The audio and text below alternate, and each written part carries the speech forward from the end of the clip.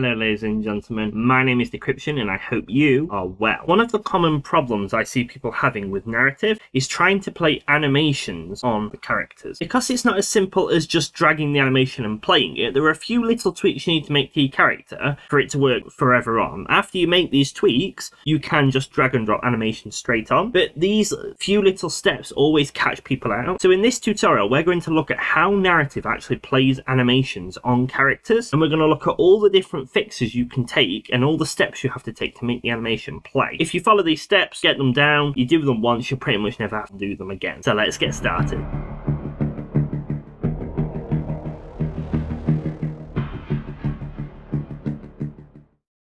So I've just got a simple scene set up here, and I've got my character Gary here. Pretty much dead simple. And Gary has a bunch of problems that I pre-set out so we can run through it. So at the moment, if I click play, you can see my game started and Gary's facing me. He's in the T-pose. I haven't given it any animation, even an idle one just yet. So let's walk up to him. And it says, hi there, I'm Gary. This line should emote. Perfect. Okay. Nothing happened, but that's the basic scene I've got up. So the first thing I'm going to do is I'm going to get rid of his T-pose. I want him to have a proper idle animation. So I'm going to come into his blueprint. I'll select his mesh because that's where we we apply the animation. I'll select use animation asset and then I will come and I haven't got an animation yet. Let's go and convert one over. So I've already got my retargeters set up here. If you haven't got animation retargeters or IK rig set up, I do have a tutorial on it. It's super easy to do. Link in the description. I've just gone and robbed another breathing idle one. So we've got a variation, but now we have breathing and punching. So they're the two states of our animation. So his idle pose, I'm just going to set to his breathing idle like so. And now you can see he'll breathe idle. It'll look better. So what I want is on his dialogue that it comes in and when he says this line should amount more, he's going to punch. That'll be his animation. I'm going to come into body animation and you'll notice I'll be able to select all the ALS ones, but my punching one is here. If I come in here and search for my punching, you can see I've got a punching one there. So I'm going to select that and I'm going to compile and save. And we're going to go back to him. So now the game started and he is definitely idling. So good, we've solved that. That's a common issue. And I'm going to walk up and you'll say, hi there, I'm Gary, and nothing will happen. Okay, so why is his animation not playing? The first thing you have to know is Unreal and narrative by extension won't just play standard animations. So you can see here my breathing idle one here. If I come and try and select that, I won't be able to select it because this is looking for a animation montage. They're slightly different to normal animations, but they're super easy to create. Find your animation. So in this case, I will pick my breathing one, right click, create, and just do create anim montage. You can even do this in bulk. So if I select my punching and my breathing, right click, create montage, and it does that. Montages are different to animations because you can do extra functions on them. For example, in here, I could add a notify. So when I punch at a certain distance, it notifies the player that the character's extended their arm, spawn a collider or something. And there's loads of other bits you can do with them. But now since I've created montages from them, I will be able to come in and select my animation. So the reason montages are important is montages allow you to do multiple different levels of animation, but also they allow you to play them using animation blueprints. Now the key here is the animations that you apply directly to a mesh are standard animations animations, as you can see, the animation sequences. However, because narrative and a lot of other Unreal things like you to have the montages, we need to tell it to play the montage. So how do we link it up? And how do we allow montages to play? Because even if I was to come in here and do play montage directly on the mesh, it won't work. We can only play montages if our animation blueprint is set up to allow them. And this is super easy to do. So what I'm going to do is I'm going to come down into my blueprint folder, just where I put Gary's test stuff, and I'm simply going to right click, animation, animation blueprint, and I'm just going to come and select my skeleton. So in my case, I'm using Polygon Elven. So I'll just find the, the skeleton for that. I'll click create. I'll call it AB underscore Gary because that's his. You don't need one animation blueprint per character unless they've got vastly different animations. You can just create one animation blueprint based on your base NPC. So for example, in my NPCs, I have my ALS NPC, then all other NPCs are child blueprints of that. So let's open up Gary's animation blueprint and you'll see in this output pose here, it wants us to stick an animation in. Now you could just come in, drag the breathing idle in and connect it to it and compile. And that would work, but it's not going to play montages yet. So we need to override it and say, now you play montages. So what we do for that is we can drag off of this little character here, and all we have to do is type in default slot, like so. You can put this anywhere you want for it to play, but, but it's typically advised that you put it as close to the output node as possible, not distance wise, but if you've got like five, six, seven other nodes, then you want the default slot to allow montages to play. One exception to this is, for example, if you're using IK rigs and stuff to hold weapons, you may very well want to play the montage before that and then make the IK rig still grab the gun. So if you're making them shout up kind of thing, like, you know, a Tusken roar, then you don't want the default slot to remove the hands, so do your IK rig stuff after. But typically for me, I just put it as close to it and it's completely fine. Everything else will go after it. So you'll have your states in here, your blend trees, everything else. So just for my simple sake, that's all I've got. And you'll notice no, it, nothing changes. It looks fine. But this slot is one thing a lot of people commonly forget and it stops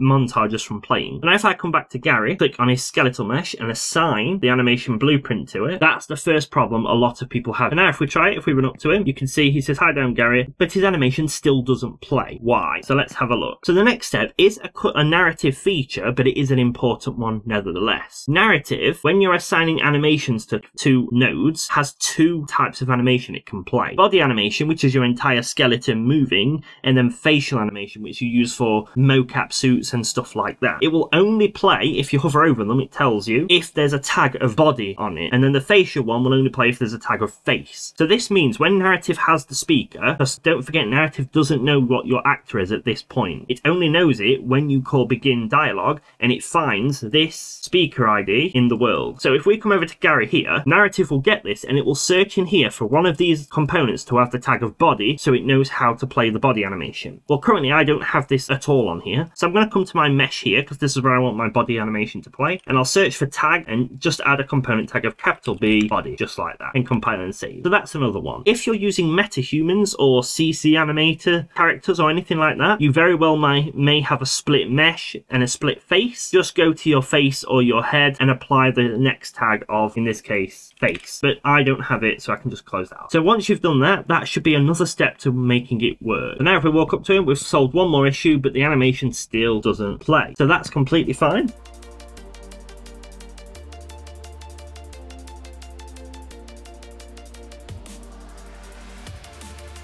The next common mistake is incompatible animations. So as I've just previously alluded to, narrative doesn't know what your speaker is. It, it, doesn't know if it's this type of blueprint of Gary, it doesn't know if it's this type of blueprint of ALS NPC, if it's this destructible barrel here. It can literally be anything. It could change throughout the game. So you could have one type of NPC on this level at the pier, and then when you get to a higher level, you could have a completely different NPC with the exact same name. And that is okay, a bit weird, but it's okay. So narrative doesn't know how to classify which animations to run. So its animation incompatibility is the next one. This one here, punching, is the one we set up, is it not? So if I come down to my animations here that I created the montage of, you'll see I've created the montage of the Mixamo animations, okay? But the Mixamo animations won't work on this character. If we go back to our animation blueprint here and try to drag this Mixamo montage in for punching, the skeletons aren't compatible. And you'll also notice that in the dialogue, this one is semi-purple, whereas this one is bright blue. So I've already mixed up my animations as well. This one here that I've selected is actually the ALS punching one. So and because narrative doesn't know what type of skeleton this speaker's going to be, it shows you every montage. So what you need to do is make sure that your montage is properly set up and you've selected the right one. So for example, if I come back to my polygon Elven and actually create the montage of the correct ones, like so, and then just drag this punching one in, this will give us a better chance of it working. So if I compile and save now and run the game again, so now if I try and run up to him, you'll see he'll say, hi there, I'm Gary Dialogue, and he's still not playing the animation. Okay, so why is he not playing the animation now? We've sorted the animation blueprint,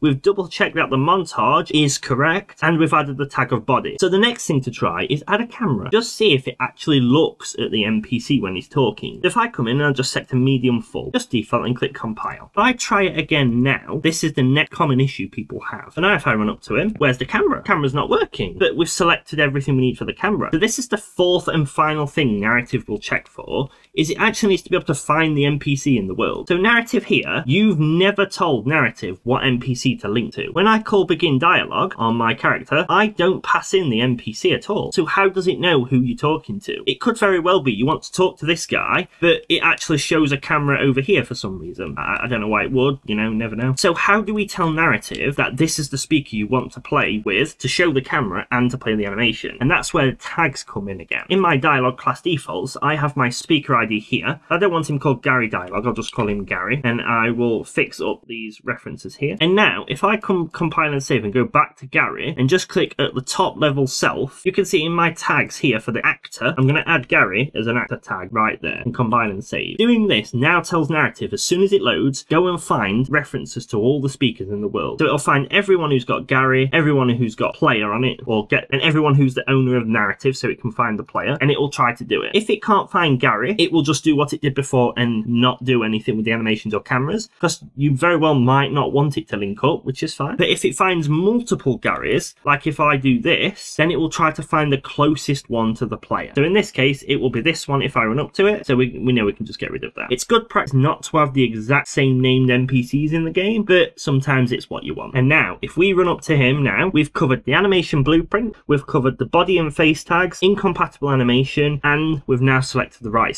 speaker. So running up, his camera will work perfect, and he punches. There we go, ladies and gentlemen. That is it. I know it seems like a lot of steps, but it's really, really not, I promise. It's basic Unreal stuff that you will need later down the line. So the animation blueprint, you're not going to get very far in a game if you don't have an animation blueprint because it controls everything and lets you handle so much. If you're blending in code animations, you're going to have a bad time. So animation blueprints, you don't need to learn them to an advanced level. I don't know them to an advanced level. I just know the very basics, such as here, and I typically copy from the Unreal one anyway. So the animation blueprints are an absolute must. The default slot, that's an Unreal thing, not a narrative thing. You will often play your own montages and you're going to want them to play. So if I open up my player here, when I call attack, I play a montage right here. This montage won't work without an animation blueprint and without the default slot. So that is a pure Unreal thing. Create it, get used to creating it. It makes your life so much easier. The other three aspects are a narrative thing, but to give you maximum customization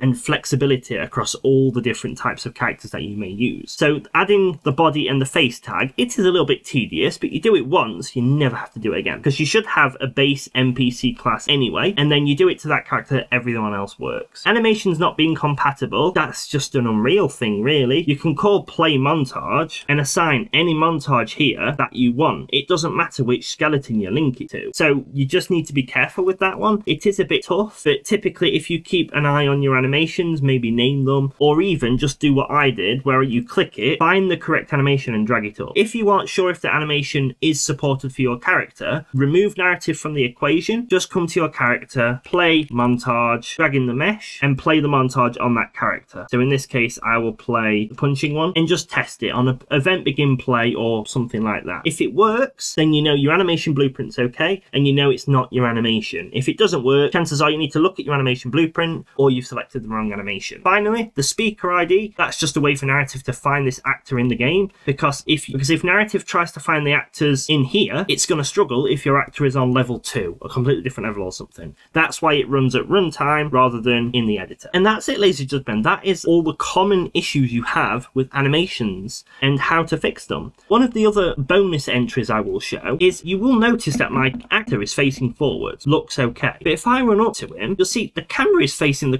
completely wrong way. It's pointing at his face.